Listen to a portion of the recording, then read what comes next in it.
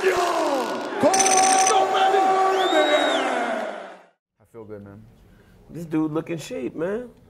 Hey, we ready? I need to be. It's gonna be We one, Of ready? those, one of those fights, you know. Um, DP, what's up, baby? It's happening, man. Good to see you again. with me again. Yeah, man. Yeah, you look good. You look good. I mean, everybody in here, like, You can touch it. I mean, can I? Let me touch it. Oh my God. Wow, you look like you belong on Magic Mike. Because you're all dark too. you all dark too. Oh man. How you feeling, bro? I feel good, man. I feel few great. days away. Excited. BMF championship. Justin Gaethje number two. How are you feeling, and how was the preparation as you got ready for this rematch?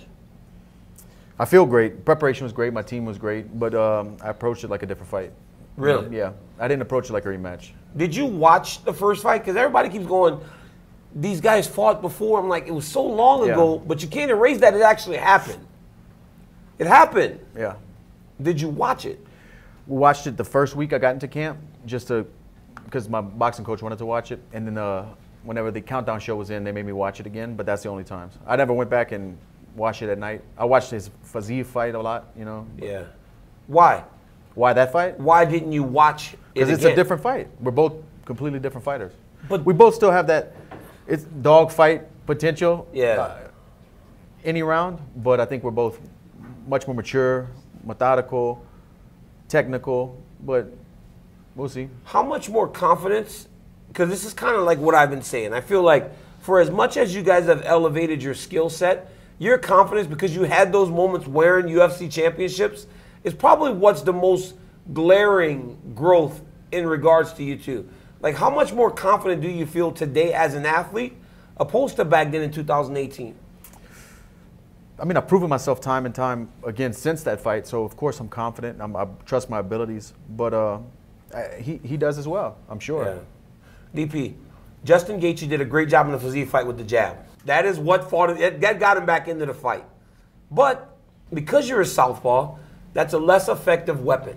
And because he was trying to throw the kicks, and you that's when you counted him with the straight left. Yeah.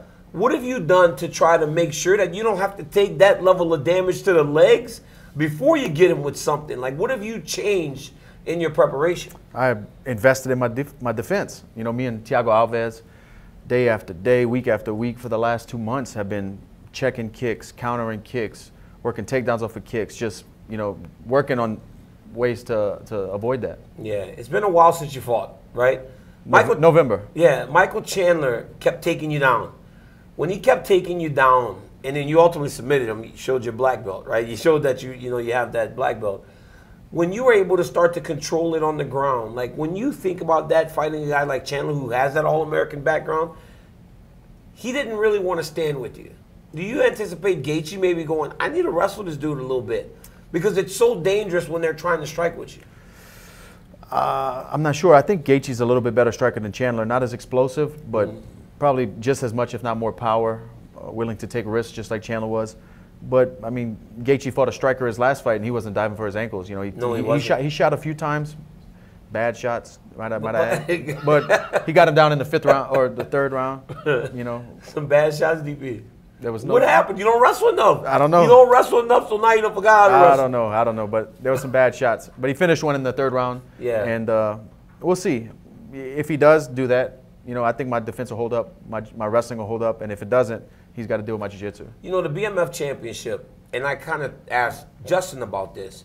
The BMF championship, I know Masvidal is one of your friends, and Nate Diaz, but these are guys that have double-digit losses over the course of their careers. You and you and Justin Gaethje are championship caliber fighters. I don't know if you guys have 10 fights lost combined. But because you're championship level fighters, do you feel like it's elevated that championship? Like now it's not some Islam. Islam said it was a fight, it was a title for the bums. It's not now, right? Because you guys aren't bums, you're championship level fighters. Do you feel like that belt's elevated now so it means more this Saturday? Uh, I'm not putting a whole lot. Like, it's, it's cool, and it's a cool part of, of my legacy. You know, winning this belt. Um, that'll be something fun to talk about. But I'm not trying to legitimize it, or it, it is what it is. Yeah. You know, just to have your name t- in the hat to be considered for a fight like a BMF fight. You know, you've put it on and bled and done some crazy stuff throughout the years. to, to put yourself in that position. So I think that's more winning the belt is obviously the, the big prize, but I think being in the fight, the second ever BMF fight, is like a that's a prize in itself because people respect. You know, the fans want to see us fight, and that's why this fight is what it is. And this fight means something now. Yeah. Because whoever wins this will be next for Islam versus Oliveira winner. You would imagine, right? Uh, they uh, UFC hasn't told me, but I, I would. I mean, we're number two and three. Number one's fighting for the belt. We're both coming off of wins. Our course came back around full circle, and we're gonna do it. Today's video sponsors the Game Time app. The Game Time app is the leader in last minute ticket purchases from basketball games to football, UFC comedy shows, and concerts. You can get tickets cheaper by using the Game Time app. It does not matter where you are, where you live, use the Game Time app to get out there and do something fun. And here's a little bit of a cherry on top. Use the promo code DCTV for $20 off of your first purchase. Once again, download the Game Time app right now. Get out and have some fun and use the code DCTV for $20 off of your first purchase. I want to have fun, and I use the Game Time app for all of it. Hell, maybe I'll see you out in Salt Lake City. Last minute ticket purchases are made easier with the Game Time app. Like you said, you haven't fought since last November. When this before Oliveira got announced, were you thinking Yeah, in your mind that I can turn around? There's no way. No, no, I wasn't. hurt. I wasn't gonna say yes. I was thinking they would ask. Oh, you thought they would ask? Yeah, yeah. But you were gonna say, Well, I got you guys are gonna get beat up in this fight. It's just it is what it is. Yeah. Every single fight's like that. right, right, right. So it's almost like I, when people were saying stuff like it's gonna be the win, I'm like, there's no way these two get out of this train wreck Right. without being injured. I was thinking the same thing what you were thinking, but I thought they might ask. We'll see. You know, Yeah. that's what I was thinking, like at the beginning of camp when, when it started happening. But it's all good. And man, Charles, that wasn't that wasn't the- best Charles in that first Islam fight. You know, if, if, if Charles shows up who he was when he fought me, when he fought Gaethje, when he fought Yeah. Chandler, when he fought Dariush, if that guy shows up, I mean, uh, he it's can. a tougher fight. It's a much tougher. he didn't want to be in there that last one. What, what he said that he wasn't there in the last fight. He said he wasn't like physically there. What do you? Why do you say he didn't feel like he wanted to be in there? because it looked like he wanted out. Like he didn't. It just didn't look like The that same, same guy. fire. like that burn in his eye, right? Even when you guys were knocking him down, you could see that he still had the fight in him. One thing you don't question is your fight. What allows you to kind of take the risk and be in those types of fights and never seem to falter? Because you guys both have little deals, right? Gaethje kind of fixes his gloves when he's like ready to fight, and you do shit like, okay, come on. Mm-hmm. You almost acknowledge like, all right, let's go. I'm pointing at Conor, like, let's do this. But you do this every time. When somebody gets you with a shot, or when you land something, you're like, all right, I got you, right? Like, what what is that in you that that makes you kind of fight in that way? I think it's just those kind of things are habits uh, from so many reps in the gyms. Like if I'm sparring, if somebody lands a good shot on me, good shot, like just to, to not get uh, overwhelmed with emotion or get back. You know, I don't want to immediately try to get them back and put Yeah. myself in harm's way, which is easier said than done. But that kind of keeps me mentally locked in. Like it keeps me flowing smooth, not like blinding myself with anger or something. You know, like if you hit me with a good shot and I'm like, I got to get you back, I'm, I might get hurt. But if you hit me with a good shot, I acknowledge it, reset. Okay, it's just like reset. You know, that's Yeah. what I'm doing when I'm. You know when you say good shot for a lot of stuff, like you know, like good shot, like Good shot, that's a good not shot. necessarily a basketball shot. You know, people don't understand that. Yeah. You know, when I was They at probably- wrestling, they don't. I used to say that whenever they be wrestling, I'd be like, "Good shot, Jamil. Nice hand fight." And they're like, "But I didn't shoot." people don't understand that. They don't get like that. It's kind of like a Lafayette thing. I It might be. Might be. because I say it all the time, and I'm like, well, Good shot. man. Yeah, Yeah. It, just, it just makes sense. You get this championship belt on Saturday in Utah. You've been here since last Friday. Have you really taken much time to really think about the altitude or anything? I slept in a altitude tent last two weeks of training camp in South Florida. I slept at 5,000 feet. Mm-hmm. Then I came out here. I'm about a little bit over a thousand feet above Salt Lake City. I'm in the mountains here at the Airbnb. Okay. So I, I did a you know a little bit extra. A little acclimation, not look, too if, much. if I'm tired, he's exhausted. I don't care where he trains. If he trains at 8,000 feet, it doesn't. If I'm tired, he's exhausted. Because you're putting the pressure. Because I don't get tired. You don't get tired. No. Like Kevin Gates. Five rounds. Five rounds. You ready for it? Let's go. Bro, it's been it's been so long already. You said your first main event was in 2011. First UFC main event 2012. 2012. You made your debut back in 11. 34 years old now. Still looking down the line like, man, I got a long time of doing this.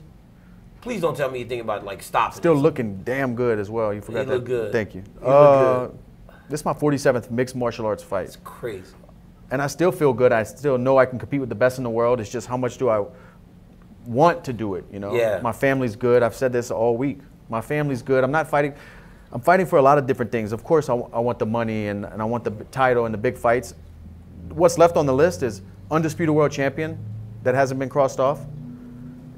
That's still the goal. That's still what I want to do. And as long as I feel good and feel able, I mean, we'll see, man. Saturday first, and then Saturday first. yeah. All right, before I let you go, champ, bro, there's a restaurant in Salt Lake City. One of us lives here. There's gumbo with roux in the restaurants. I don't know what time you leave Sunday, but if you're gonna be here at least till lunch, let me buy you lunch. I'm gonna go. I'm, gonna I'm leave leaving. I'm. I'm here. I'm leaving Monday. Okay, so I'm gonna go and leave a tab. I'm gonna say this for Dustin Poirier, and I'm gonna buy you some gumbo. I'm in. I'll bring my own sauce, my own hot sauce. I know you got the I hot got it. sauce. I got it. You carry that motherfucker Oh, with you yeah, everywhere. yeah, yeah. You got both of them, the hot I got the- all three of them here. and some rare stash. I mean, if we're doing it, I got 12 bottles there of rare stash. You want some? I mean, you want to talk about a man that knows how to peddle his products? Dustin Poirier is a businessman, not just a businessman. This weekend, Dustin Poirier takes on Justin Gaethje for the BMF Championship at UFC 291.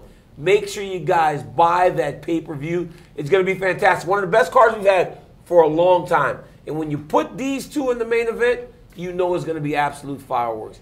And tap into everything Dustin's doing. He got the hot sauce. He got the rare stash. Dustin Poirier on Instagram and everywhere else. Uh, Dustin the Diamond Poirier uh, everywhere else on his social media. Make sure you guys check him out. Till next time, guys, like, subscribe. Peace.